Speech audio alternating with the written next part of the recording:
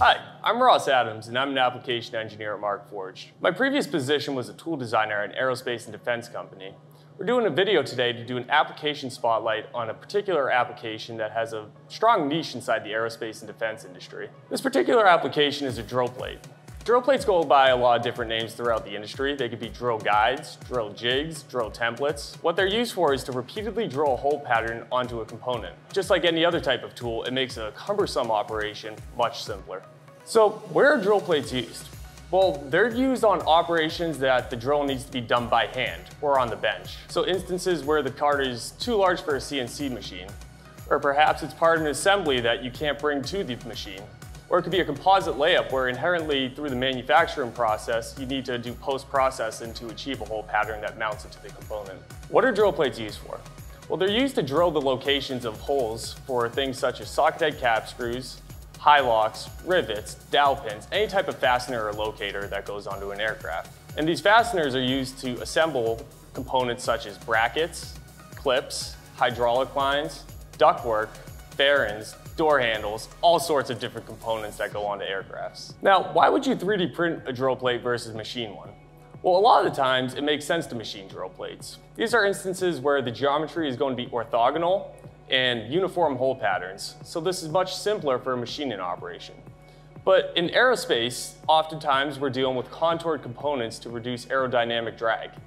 And this is going to be much more complex for machining operations. So Markforged offers a unique solution for 3D printing where we have composite and metal 3D printers. And you can really leverage these to increase your velocity of the tool design. Continuous carbon fiber reinforcement really makes the tool operation much more durable because we know that when these tools get used down on the shop floor, they're not going to be gentle with them.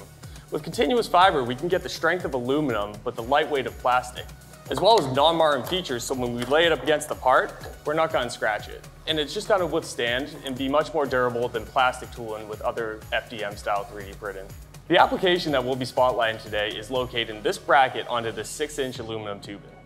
Now this bracket requires two socket head cap screws, which are a quarter 20 thread. So we're gonna need a tool that drills the pilot hole and then taps it at quarter 20. So the way the tool works is quite simple. We take the tool and we locate it onto the tubing. Then we're gonna take a clamp and make sure that that stays locked in. After that, we're gonna take our first bushing spoon and insert it into this liner bushing and drill our pilot hole at 0.210 inch diameter. After we remove that, we'll take the second bushing spoon, which has a quarter inch ID, and we'll use this as our tap guide when we go in to tap it with quarter 20.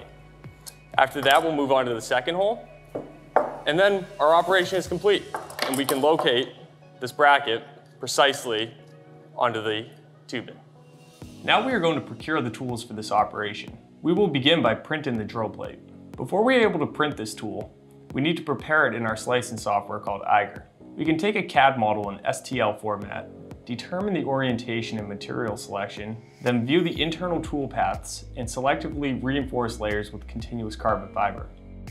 Then we can select a printer and seamlessly start the print. After I receive a notification that my print is finished, I can walk over to the printer and easily remove it off of the print bed.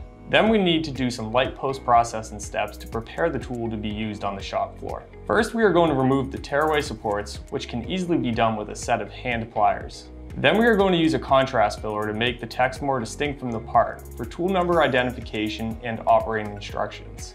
And finally, we will heat press in serrated drill bushings into the tool using a soldering iron. While the drill plate is printed, our procurement department gave us a heads up that the renewable drill bushing is made to order and has a three week lead time. Instead, we are going to utilize the Markforged Metal X 3D printer and print the bushing in D2 tool steel. This is only a two hour print, so we can get it into the debinding station overnight and then into a sinter tube furnace the next day. After the bushing is sintered, we will do a quick touch up and open up the ID to a tighter tolerance. This three day lead time is much more attractive than waiting three weeks from the supplier. Once we have all the details for the tool, we can assemble it together and do a tool tryout on the shop floor.